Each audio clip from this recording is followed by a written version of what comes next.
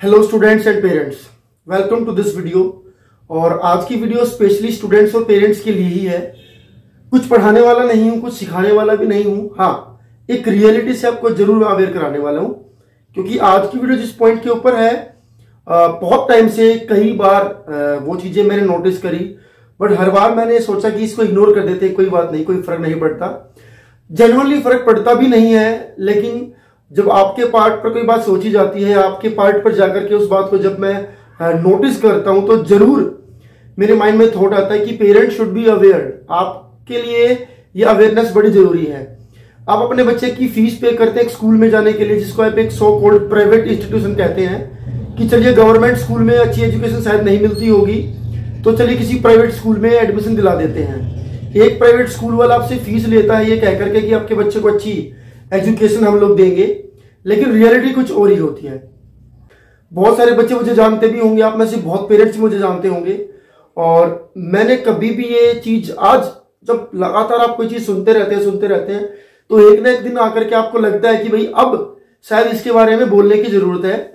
यह बहुत हुआ, अब कभी ना कभी आपको रियलिटी से लोगों को जो है वो अवगत करा देना चाहिए, और उसी रियलिटी को लेकर के मैं आया हूँ। उस पूरे स्कूल के अंदर अगर मैं बात करूँ, शुरू से लेकर के एंड तक if I talk about the principal principal इसलिए प्रिंसिपल नहीं है कि क्योंकि उसके पास बहुत ज़्यादा क्वालिफिकेशन है, या ही सो मच टैलेंटेड बहुत टैलेंट है नहीं। प्रिंसिपल इसलिए क्योंकि खुद के पैसे का बनाया हुआ स्कूल है।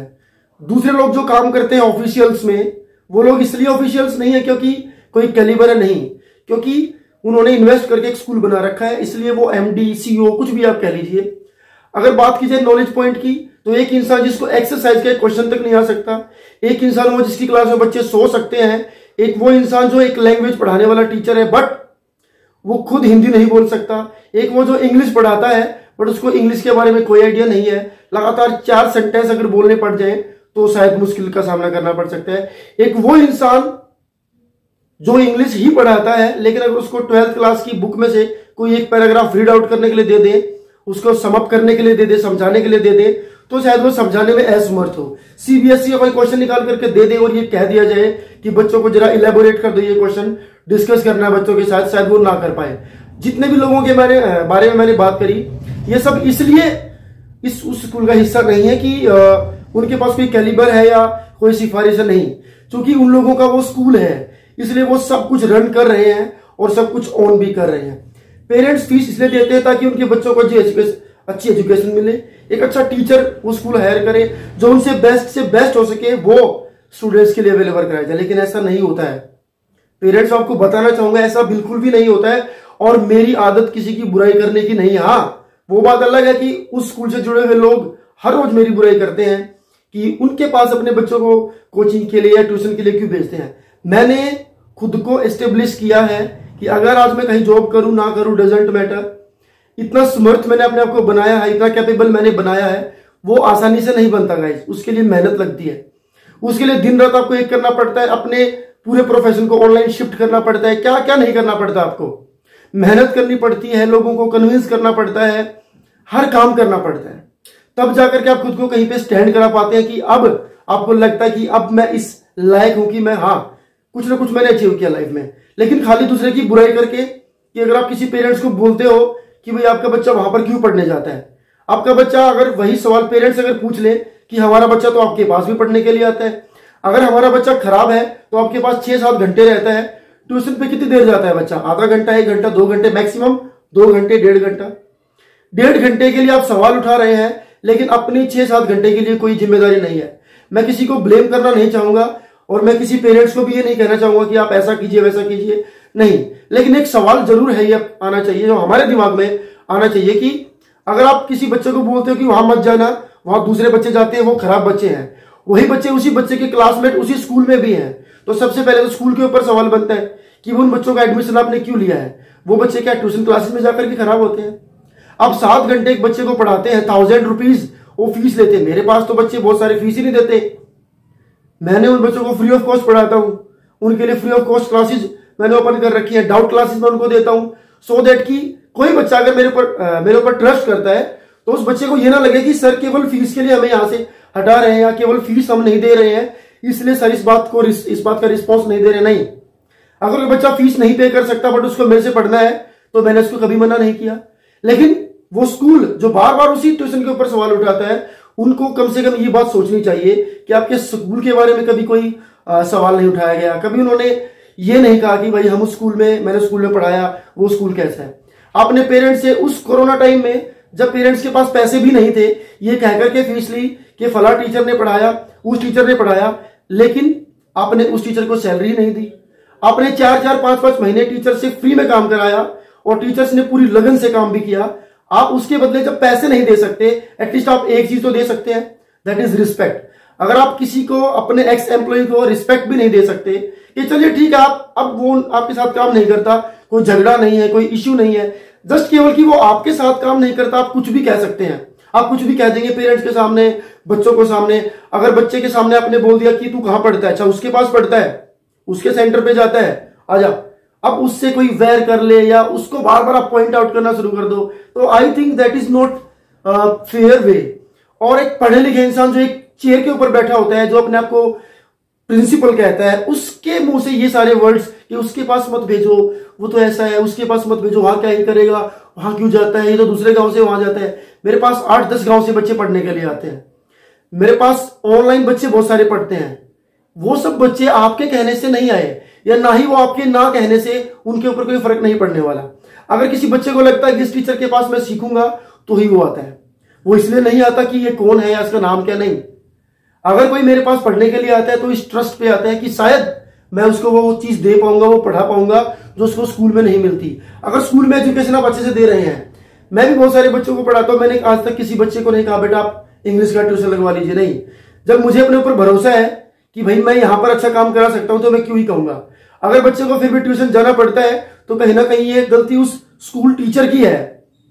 कि उसने शायद उस बच्चे को उतना अच्छे से नहीं समझाया होगा, कि बच्चे को ये लगा होगा कि मेरा बहुत सारा काम बचा हुआ है, या मैं नहीं कर पाऊँगा, मुझे इसके लिए कोचिंग क्लास की हेल्प करनी, लेनी पड़ेगी।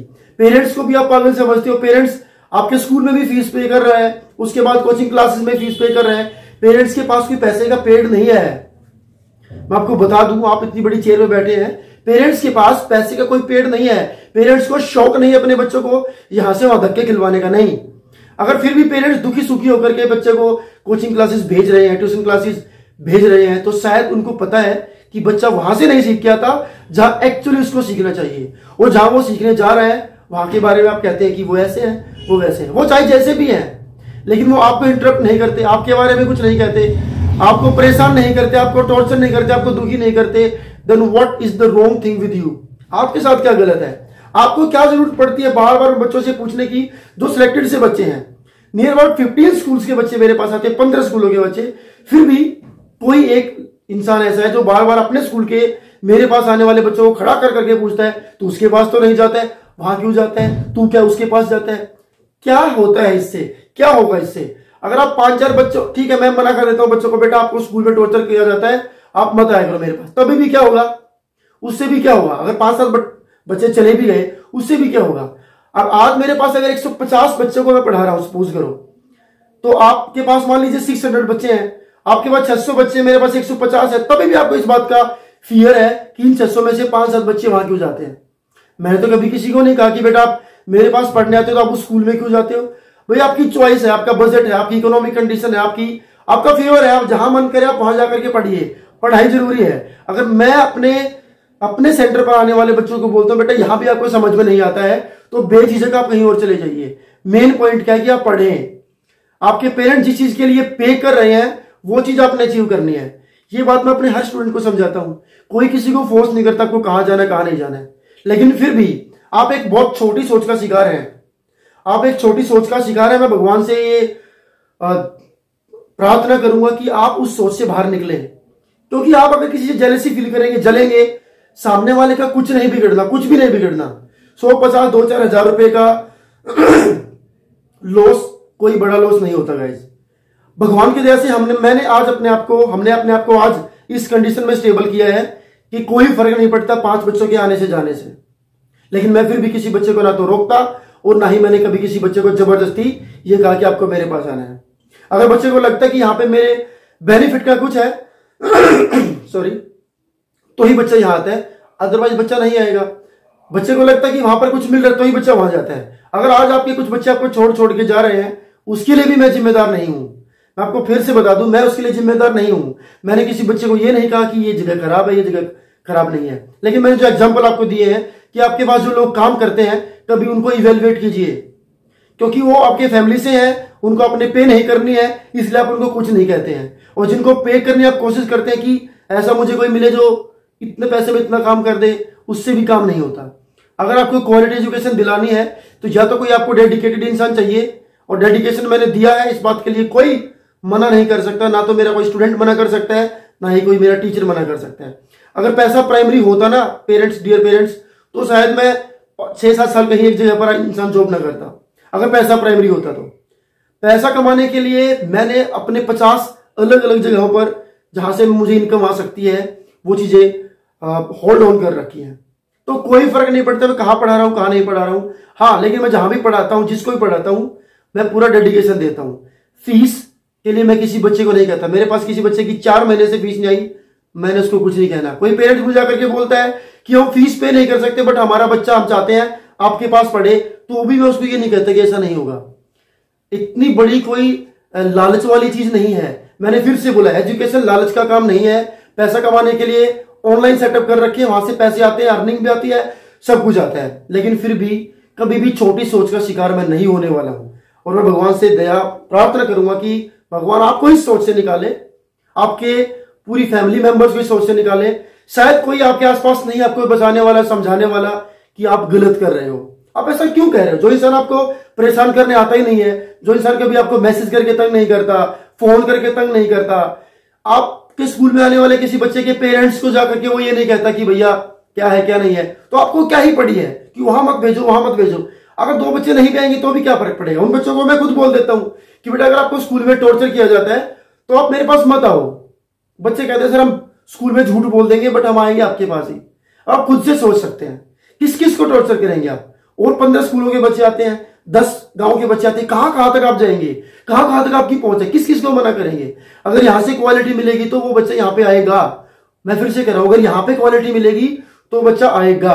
और रही बात निकालने या रखने की तो निकालने वाला तो ऊपर वाला होता है। अगर आप किसी को पे नहीं कर सकते, अगर आप के पास उतना बजट नहीं है कि आप उस चीज़ को होल्ड ऑन कर सके तो आप यही कहेंगे, अंगूर खट्टे हैं। और गाइज़ मैंने कभी नहीं कहा कि वीडियो को शेयर करो, ये करो, वो करो बट आज मैं कह रहा हूँ कि हर एक पेरेंट्स हर एक उस माँ बाप तक जो स्कूल में फ़ीस पे करता है, इस उम्मीद में कि स्कूल से शायद हमारा बच्चा कुछ सीख करके आएगा। उस पेरेंट्स उस स्टूडेंट तक ये वीडियो जानी चाहिए। मैं कभी नहीं कहता कि वीडियो शेयर करो बट आज मैं कह रहा हूँ कि ये वाली वीडियो आपको इतनी शेयर करने की, हर उस इंसान के कानों में ये वीडियो जाए, जो इंसान इस तरह की छोटी सोच का शिकार है। वीडियो देखने के लिए थैंक्स आई होप कि चीज़ें आपको समझ में आई होंगी। इन बातों पर गौर करना, ध्यान देना और आगे अपने बच्चे के फ्यूचर के लिए तब भी कोई डिसीज़न लेना। Thank you have a wonderful day